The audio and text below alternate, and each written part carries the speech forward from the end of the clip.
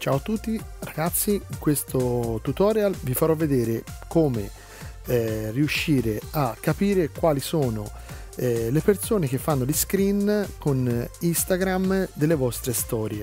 È una cosa abbastanza banale, probabilmente lo conoscerete già questo metodo, ma molti non lo, non lo sanno come funziona e mi, mi piace farvi vedere come fare. Apriamo eh, la nostra applicazione Instagram e cerchiamo di capire come si individua eh, questa, mm, questa funzione eh, che eh, diciamo vi aiuta a capire coloro che fra virgolette vi spionano.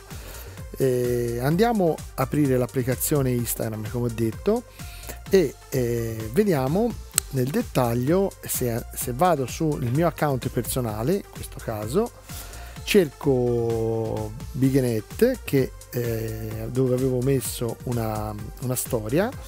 Apriamo la storia. Eccola vediamo eccola qua. Adesso blocchiamo eh, l'immagine facciamo uno screen della stessa ecco lo screen fatto.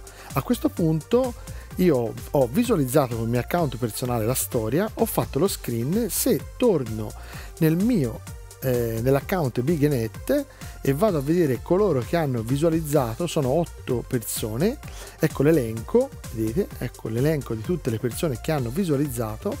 In questo caso eh, come vedete c'è eh, Big67 che è il mio account personale che ha fatto una, la visualizzazione e compare questo mh, mm, chiamiamolo eh, fiore o asterisco insomma è questo simbolo accanto al, al mio account questo cosa significa? significa che eh, la persona cui, a cui appare questa, questa, questo simbolo ha fatto lo screen del della vostra storia cioè si è salvato sul telefono la vostra storia personale per motivi sua, perché vi segue in modo particolare, eccetera, eccetera. Ecco, eh, probabilmente non, eh, non, è una cosa così fondamentale e importante per voi, però quello che posso dirvi è che ehm, sapere coloro che sono realmente interessati alle nostre storie, tanto da farne uno screen e salvarle sul telefono, eh, può essere una cosa che comunque può servirci.